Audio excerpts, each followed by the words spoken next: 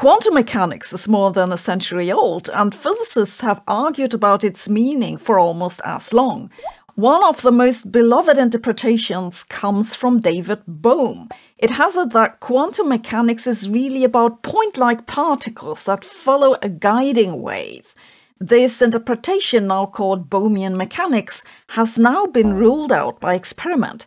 That's a pretty big deal after 70 years of argument. You could almost call it progress. In the standard formulation of quantum physics, everything is described by a wave function. The wave function itself is not observable. We just use it as a tool to calculate the probabilities with which we observe measurement results. In quantum physics, we can't predict exactly what the measurement outcome is, just this probability. It's therefore a non-deterministic theory with a fundamentally random element. Bohmian mechanics, sometimes called pilot wave theory, was proposed by David Bohm about 70 years ago. At first glance, it seems to be just a reformulation of the mathematics of quantum physics. One takes the wave function apart into an equation for a guiding field plus the equation for particles moving in that field. One then says, well, but we didn't know exactly where the particles started. We just have a probability distribution of starting positions.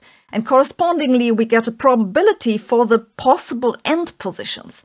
This means that the observations in Bohmian mechanics are still probabilistic, but one chalks up the probability to our lack of knowledge about where the particle really was. This rewriting of quantum mechanics is appealing if you prefer working with particles. But it's not just a reinterpretation. For one thing, in Bohmian mechanics, you can really only measure particle positions, whereas in standard quantum mechanics, we measure all kinds of different things energy, spin, momentum. And this is why in Bohmian mechanics, you have to dance around around quite a bit to explain why a spin measurement is really just a measurement of the position of something. The other issue is that if you take the formalism seriously, then Bohmian particles are physically real.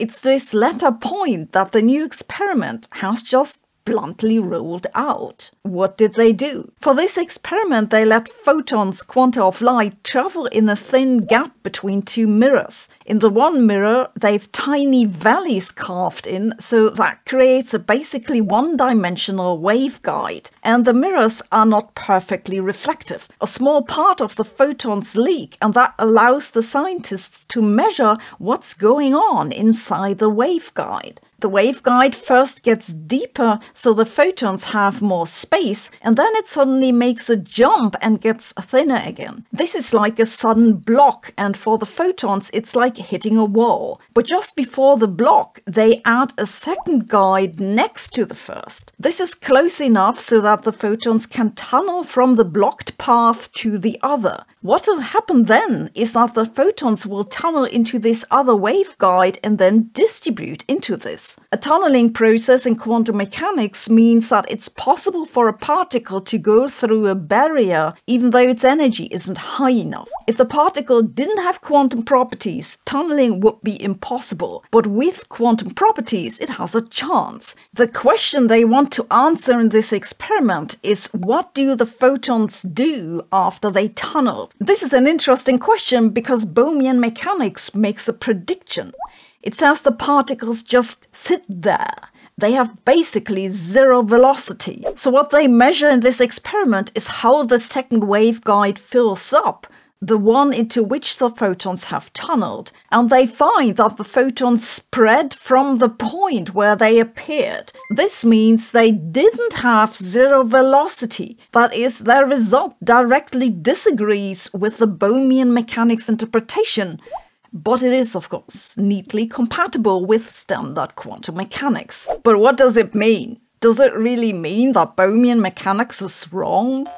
Well, yes and no. It means that you can't identify the particles of Bohmian mechanics with the particles that we actually observe, like the particles in the standard model. But in some sense, we knew this already, because the particles in Bohmian mechanics are point particles, and the particles that we measure are Not. They have spatial extent. They interact. They smear. Some of them have careers in politics. Personally, I never understood why people like a theory with point particles. I don't think that something infinitesimally small can be real. That said, I was thinking we'd never make progress on that, and yet here we are.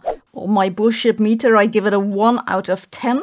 It's a really neat experiment, though I think they're slightly overstating the relevance for Bohmian mechanics. So, Bohmian particles don't match the particles we measure, which I suppose makes them like most of my life goals well defined, internally consistent, and entirely unobservable. I used to get a lot of scam calls. I found out that this happened because my phone number had leaked from some websites I must have once signed up to.